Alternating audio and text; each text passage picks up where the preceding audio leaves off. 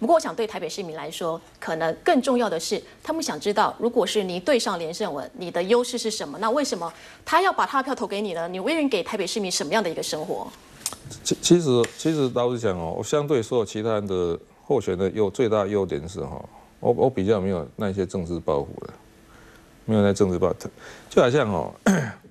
像太极双星这个案子一样，你想，但是这是郝龙斌市长他的十大建设的第一个，就第一个就突切，就遇到，你想一个七百亿的案子，你知道哈，可以从台北市政府、台北市业评审委员会这样一路通过，你知道哈，就表示说，用闽南话来讲，贵州转派系，啊为什么会这样？对很多政治是这样的哈，就就是说，为什么政治有时候政治不得要，为什么不政党轮替？为什么不要不得不政党轮替？你知道，就讲你最辛苦哈。利益团体啊，盘中错节，所以太极双星是一个很大的案子。坦白讲，你说我最跟相对其他候选的优点，最大优点是，第一个，我我我比较没有过去那些政党啊派系的哈。你想想，你你每次选举哦，都要都要都要跟人家都要跟人家收政治现金。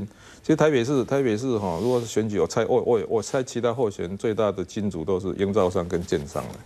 那你平常你平常你平常拿人家那些钱，你到时候土地重划了哈，这种都市规划、都市都更哦，你如何能够用得起来？很难，你知道，因为你过去拿人家钱嘛。其实我我倒觉得我最大优势是没有包袱啊。另外一点是这样的哦，我这样讲就不好意思，每次每次人家讲说你不可以在 在媒体上这样讲，坦白讲我还是很聪明的人啊，这个智智商智商智商超高的，就说你要比念书的、比学习的哦，这个当然是哇，这比个人条件的。不过就我觉得这样的哦。政治上不是比个人秀，还是团队的。你是个 leader。不过还一点，我有有英过所有人最大特色是，我我因为我是个过去是不但是医生，而且是管家有病房的医生，生死看太多了，所以名利心的哈那种比较淡的，比较不会那种那些咕咕摸摸一下。我我比较平，其实我比较平易近人的，就是说不不也没有什么身段的什么。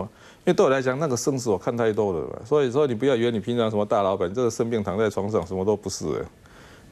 我倒觉得这种这种个性上哈，生死对名利比较淡薄的哈，那种反应快的这种，其实学问也算，其实好像算是很会读书的人了，就说啊，知识也还不错的，所以比个人条件应该都都会都比较好了。另外就是我比较没有包袱的。